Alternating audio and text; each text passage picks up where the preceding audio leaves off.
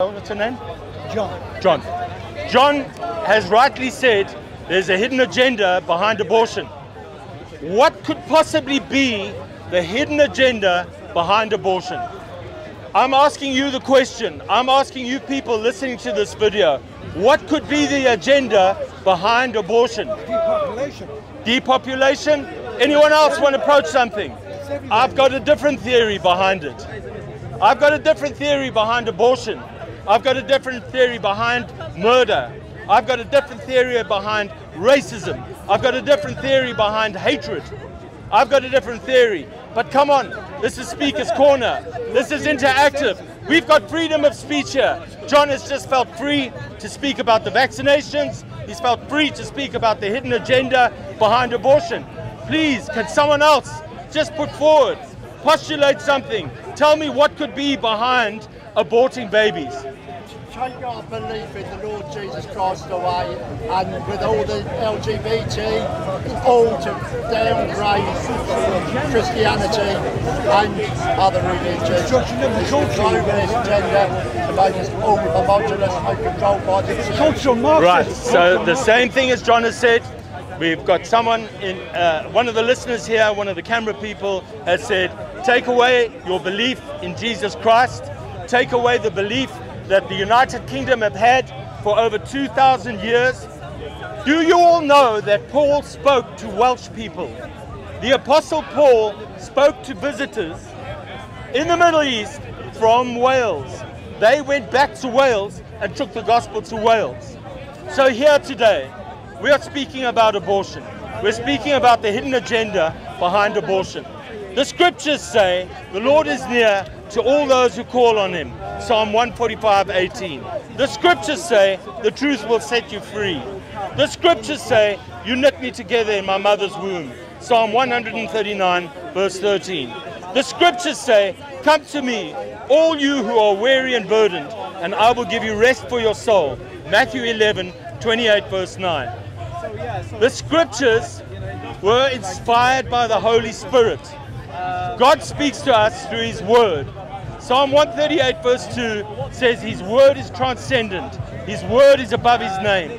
So, when God reveals Himself to us in the scriptures with His beautiful mind, with His loving kindness, with His heart of goodness, and He's saying to us, Have children and multiply.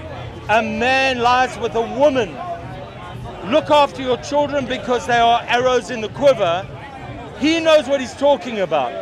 God cannot lie. Therefore, we should be listening to him. And when he promises 4,000, 5,000 years ago, when God promises, and God, cannot lie, he's never broken a promise. When God promises that he will send a savior, who is the savior? The name Yeshua means salvation. So you've got Psalm 110, Psalm 2, Psalm 22. You've got all these Psalms, you've got all these scriptures. Not one history book written by any Middle Eastern people have refuted the Old Testament. This is called the Tanakh. The Tanakh is all the books of the Old Testament. The point I'm making is the hidden agenda behind abortion, the hidden agenda behind Islam, the hidden agenda behind everything is all satanic. Exactly. It comes from Satan. That was my question. Satan is. Lucifer. My original question to you. Your original question to me is what, what do I think the agenda was? No, I didn't have a chance to say. What I was going to say is, most people who believe what I what I uh, fact checked and I said, they say that right now it's Satan against it's good against evil. It's Satan against God. That's what is happening right now today with the agenda that we're spoken about. So, ladies and gentlemen, listen to this. John is saying that's happening right now today. This is what Satan is speaking about. I spoke to an astrologer last week. She does not believe in Jesus Christ. I said to her, her name is Jay. I said, Jay, you don't believe in Jesus Christ. Do you know that God has sent a strong delusion in this world? She said, What is a strong delusion? I said, I don't know. But can you think of a stronger delusion than a man being a woman and a woman being a man? Aren't there only two genders? She said to me, Yeah. She said, I think everything's gone crazy. I said to her, But God promised that he would send a strong delusion to those who don't believe. And therefore, if you look at the, the state of this world and how many people, how many millions, billions of people do not believe that Jesus Christ is their Lord and Savior, then you understand why God is choosing this time to send a strong delusion. Now, you're all following this. You're following the strong delusion. You're following the LGBTQ agenda. You're too scared to speak out on it. You're too scared to die. You're too scared that you're going to be hurt or injured. Speaking out against what you know is not true, what you know is not false. This is called toeing the line. And the more that the United Kingdom toe the line, the more that the United Kingdom do not allow freedom of speech, the more that we participate in this false narrative, the narrative that has holes in it, the more we will be led astray. You know, a man called Salman Rushdie wrote a book called The Satanic Verses. A lot of people didn't want to read that book. A lot of people didn't think it was worthwhile. As soon as the fatwa was put on um, Salman Rushdie, his book became a bestseller. He was just stabbed um, a few months ago, stabbed 22 times, stabbed 23 times. There you go. That's the end of freedom of speech for him. He's under protection for the rest of his life. Not too far from me, we have a lady that was stabbed here in this park. She was stabbed because she was raising a polemic. This is called Speaker's Corner. This is where you're allowed to actually speak. This is freedom of speech. Here's a man, I don't agree with one word that comes out of his mouth. We could stand here all day long and argue with Steve the atheist. His worldview is ludicrous. He's an atheist, and he knows he's he knows he knows he's not an atheist. He's just suppressing the truth. But this is a man who I disagree with. But we can still be friends. What has happened to debate in Speaker's Corner? You can't beat a masturbate. oh, here we go. I'm sorry the intellectual capital has fallen, ladies and gentlemen. I'm sorry that he's lowered the standard. But here's the truth. If we can't debate these things, if we don't have freedom of speech, if she's not allowed to come here, if she's not welcome here by the police. Last week, Bob was kicked on the floor because of words that came out of his mouth. Hatun's been stabbed. I've been pushed. I've been hit on the head. We have a right to speak out against abortion. We have a right to speak out against Islam. We have a right to speak out against Jehovah's Witnesses. We even have a right to mock and cheer at people like Steve. We have a right to do it because this is Speaker's Corner, the last place in the world where you've got freedom of speech. So when I'm telling you about loving kindness, and I'm telling you about love, and I'm telling you about joy, and I'm telling you about peace, why would you want to hurt me? Why would you want to tackle me? Why would you want to silence me? Is it because you are following the agenda of something else? Is it because something inside of you is saying you hate Jesus? Because that's what he said, ladies and gentlemen. He said, they will hate you for my name's sake. That is why Hatun has been stabbed. That is why she's been pushed. That's why Bob was kicked last week. That's why different people. Look at Uncle Asif. How many times has Uncle Asif been pushed to the floor? How many times have I been hit? Here at this railing by lamppost man. All because we're saying words to you. We're speaking about God's love. We're speaking about this picture here, babies being aborted. Come on, something's wrong. Doesn't matter what your worldview is. I would like to listen to your worldview. I'd like to debate your worldview. I'd like to have a, a friendly conversation with you. Speak to anyone that believes. Uh... So sorry, Jason. Sorry. It's my big stomach. I'd like to speak to anyone that's got a different view. Here's a little poem for you. Here's a little poem. Freedom of speech is kushti unless you're Salman Rushdie. Why did you come down to Speaker's Corner and give it a bash? If you're not successful, you can always knock around Hatun Tash. Okay, so that's a big joke. What a stupid parody, what a stupid satirical joke to make at the expense of Hatun and Salman Rushdie. The problem is, it is only stupid and satirical because it's it's true. This is actually happening today at Speaker's Corner. There are people here with a hidden agenda. That hidden agenda is to do harm to Christians. Edward Little was arrested. There's a court case going on. He stopped, went into a mosque, got a gun to come here to kill our friend and our sister Hatun Hatunte. Why would he do that? What could fill a man with so much hatred that a person that he doesn't know, he wants to murder her? There are people that I'm looking at right now that have muttered in my ear, one day, one day, meaning that one day I'm going to be taken out. My family don't want me here because there's so much aggression and so much hatred. I want to be here because of freedom of speech and because, most importantly, God loves us. How do we know that God loves us? How do we know that He will um, He would do anything for us? Because He promised Jesus, He promised that He would make a way for saving us. This is early on. The first gospel is not Matthew. The first gospel is in Genesis chapter 3, where God promises, promises that He would make a way for us and that He would give us salvation and He would trample on the head of the serpent, on the head of that great Satan, the satanic spirit, which is causing this world, ladies and gentlemen, around you, before your very eyes. You all know it. You can all see what's happening. We're killing our children. We are destroying one another. We're fighting with one another. We hate one another. We would even judge a person by the color of their skin. Can you believe that? That there are nations in this world today which consider people with a different color skin tone to them they consider them to be less than them. There's even the same color skin, racism to the same color skin, even just a, a different shade of white, there's racism. I've experienced anti-Semitism at Speaker's Corner. I've experienced racism. I've heard people reading out from the hadiths that Muhammad called black people raisin heads.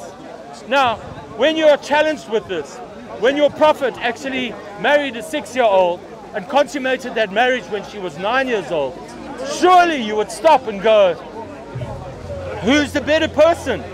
Who is a pure person? Can you imagine this? That not one second of Jesus' life went by without with him sinning. Not one second. The perfect human being, it's impossible. Because in Romans chapter 3, the Bible says, all people sin. All human beings sin. But Jesus never sinned. So if Jesus never sinned, not for a nanosecond, not for a microsecond, then look to him because he's the perfect man. So here we have an example of what love is. Going to the cross. 2,000 years before Jesus was crucified, Psalm 22 promises that his hands would be pierced, that he would go to the cross and he would die for our sakes. 2,000 years before Jesus was crucified, the prophecy rang true. Who are you going to call on? Jesus, who never sinned, or anything else? Agnosticism, atheism, Islam, Roman Catholicism, whatever you want, call on that. But the name of Jesus, brother, I would welcome a question, but answer my question first. What other name is going to save you? What other name is going to save you than the name of Jesus? The name of God. What is God's name? He has multiple names. Exactly. And one of God's names, one of his 99 names, is Yeshua, meaning salvation.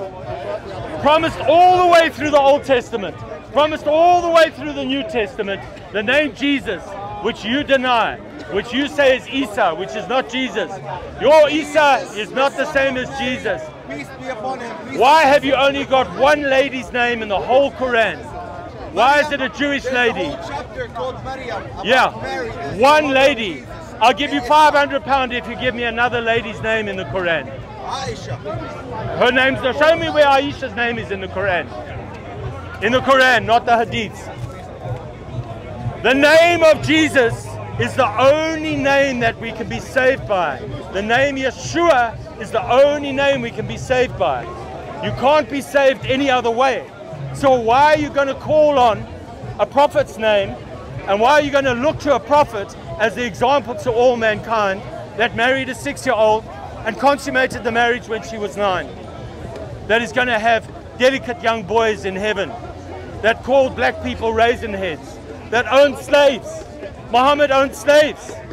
Jesus, Jesus loved us so much as God, the very essence of God, that he went to the cross to die for us so that we could all live together with him.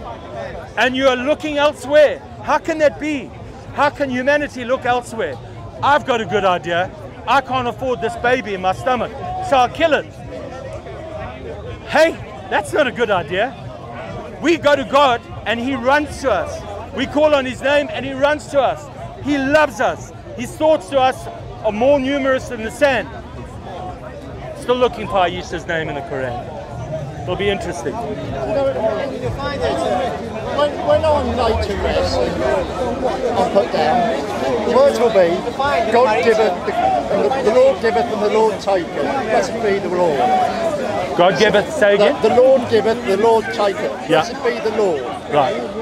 The. So the Lord had given the baby Yeah. in the womb, the life, because it is alive. Yeah. As soon as it's conceived, it's alive. Yeah. Who are we to destroy it? Amen. Amen. Did you hear that? The Lord has given a life in the womb. Those women, those lovely women, and I know many that can't conceive, that can't have a baby, and are desperate for a baby. You know what? I'm not talking about pointing a finger at those ladies and judging them. I'm saying to them, Christians, you people watching this, love them. Go to them and love them and say to them, Come and live in my house. I've got a spare room. You can have the spare room. I'll help you get a job. I'll help you with babysitting. Just don't do this. But that's you. You can only do a certain amount of people. God says, Come to me and I'll take away your burdens. Put your burden on me, for my yoke is light and I will walk with you. There's nothing better than walking next to Jesus, you know. There's nothing better than walking yoked together with Jesus. Because when you're yoked with Jesus, you don't have any burdens. You don't have any tiresome weights. Your burden is light. You can know peace and joy no matter what your situation, no matter what you're struggling with, no matter what drugs you're struggling with, no matter that you can't afford to feed this baby in your stomach, no matter all of these things, Jesus can and Jesus does. And Jesus says to Peter when he's got to pay taxes, Go get a fish out the water, open it up, in its stomach you'll find a coin. That's what Peter does. He goes, he gets a fish. The, the, the Pharisees say to him, uh, Should we pay taxes to Caesar? He says, whose, whose face is on the coin? Give to Caesar what is Caesar's and give to God what is God's. You know what is God's? You. You and you and you and you. You all belong to God. Even the people like Street Mike that don't believe in God, you belong to God and He loves you. He loves you so much that He died for you. So it's not that you don't believe in God. It's not that you that you believe that God's not here. That's not true. The truth is that you're suppressing that truth. The truth is you're suppressing that truth because you want to carry on in your sin. And that, my friends, is the biggest pandemic in this world. The pandemic is not COVID. It's not the, the false vaccinations. The, the pandemic is sin. Sin will kill you forever. Sin will let you end up in hell. What gives you hope and life and love is the peace of Jesus Christ. You will never know the truth like the truth in Jesus. You'll never know love like the love in Jesus Christ. You'll never know peace like the peace of Jesus Christ. So, in love, I'm saying to you, these poor girls, ladies, these poor people that are being told to, to kill their babies, these poor people that are being told to follow this prophet and this teacher, even these poor people that are being told to give their money to the church so that they will be blessed. Please step away from that. God's not in prosperity teaching. God's not in you giving money or um, uh, paying indulgences. God is there because He loves you. You go to Him freely, you go to Him in love. You don't have to take anything. You just take yourself to God, and He will hug you and hold you and love you, and He will provide for you. And the last thing I'm going to say to you today is this God has written a last will and testament for you. Not only is Jesus your mediator, not only is he your savior, but he's also your testator. He's also written a last will and testament for you, For you, madam, he's written your last will and testament. You are going to get what you can't imagine. For you, for you, T, for you, Adrian, for all of us, for Hatun. You, you can't imagine, your brain doesn't have the ability to imagine what we're going to have in heaven. So please call on the name of Jesus and be saved because that's the only way you're going to see the glory of God. That's the only way you're going to know what true love is, what real love is, is to call on the name of Jesus. He alone can save us. There's no other name of salvation other than the name of Jesus. God bless you and keep you and make his face to shine upon you. And God protect you in the name of Jesus. Amen.